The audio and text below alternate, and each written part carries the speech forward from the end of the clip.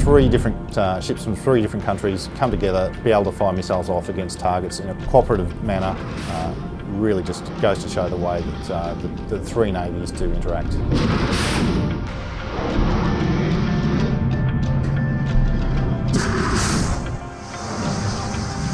We're about to fire and you just have a nice hush that goes over the whole ops room and you have you know, that intense focus and, uh, uh, and teamwork and cooperation that goes on right at the moment. So people are very, very focused on that very precise outcome.